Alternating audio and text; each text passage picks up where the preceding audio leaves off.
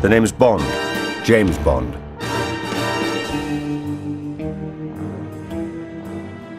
The Bond 25 film crew surrounding director Cary Fukunaga was spotted in London, with a visibly cheerful actor Daniel Craig arriving on set in the morning.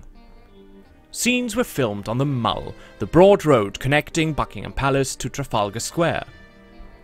A picture posted on the official James Bond Twitter feed showed the household cavalry making an appearance on the road.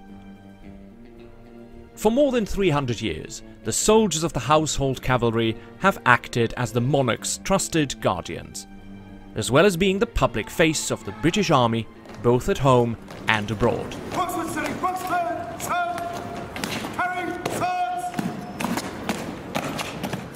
The cavalry is formed from the two most senior regiments in the British Army, the Life Guards and the Blues and Royals, and is one of the oldest regiments in the British Army, with roots dating back to 1660. Up until the beginning of World War II, it acted as a heavy cavalry unit. Today, it functions as an armoured reconnaissance regiment, as well as carrying out its ceremonial duties. The Household Cavalry has earned a formidable reputation on the battlefield, having served in iconic conflicts from Waterloo to Afghanistan. At home, its duties have ranged from providing security for the 2012 Olympic Games in London to assisting flood victims.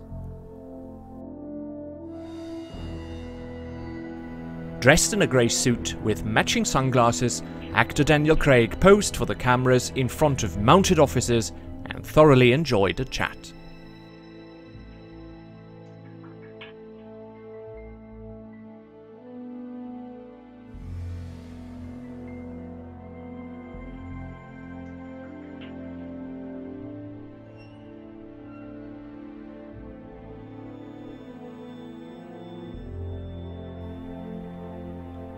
It is not the first time the household cavalry is seen in a Bond film. In 1985's A View to a Kill, one of its soldiers was positioned opposite the old War Office, which served as the MI6 office in the film. Also coming back to the screen is the Aston Martin V8 Volante that James Bond drove 32 years ago in The Living Daylights.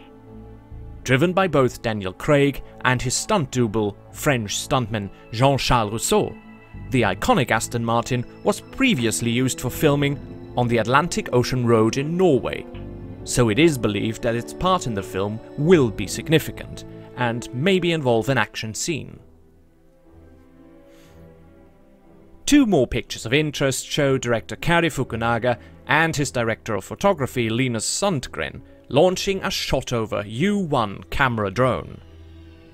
Taking drone cinematography and imaging to new heights, the 12.9 kilogram U-1 is the world's first professional-grade unmanned aerial vehicle for broadcast, motion picture, surveillance and industrial survey markets. With its molded ultralight carbon fiber frame, custom coaxial motors with 95 ampere speed controllers, retractable landing gear, redundant flight control and battery systems, as well as customized downlink with two HD video feeds and unparalleled stability even at full zoom, the Shotover U1 is a powerful gadget to capture stunning shots for the upcoming Bond 25. Depending on its payload, it can stay in the air for up to 22 minutes. If you want to stay updated with the latest on Bond 25, subscribe to the Bond Bulletin below and never miss an episode of The Road to Bond 25.